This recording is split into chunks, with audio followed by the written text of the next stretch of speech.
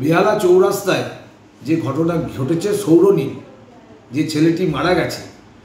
কীভাবে মারা গেছে ট্রাফিক আইনের দোষ না ড্রাইভারের দোষ সেটা বড় কথা না। আমি শনিবার পঞ্চায়েত সমিতির সহকারী সভাপতি হিসেবে সিটে উম, শপথ নিয়েছি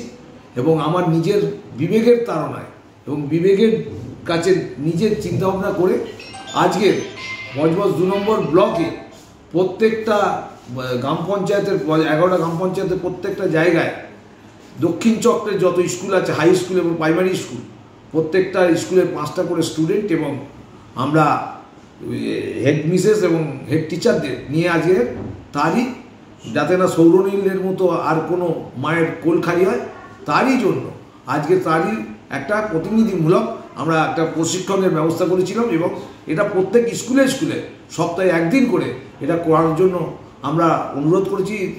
শিক্ষক শিক্ষিকাদের এবং তার সাথে প্রত্যেকটা স্কুলের সামনে আমাদের সিভিক পুলিশ বা পুলিশ ভালোভাবে যাতে থাকে, তারও ব্যবস্থা করেছি।